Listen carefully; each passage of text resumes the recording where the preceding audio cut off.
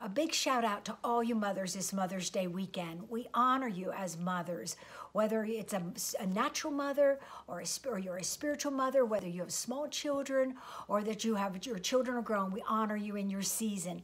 And I know that for some of you, it is not an easy holiday. It's challenging. You might have experienced the loss of a uh, of a child, or maybe the loss of your mother this year, or a, or a miscarriage. And we just we grieve with you in this this season of your life, and we honor you on your journey.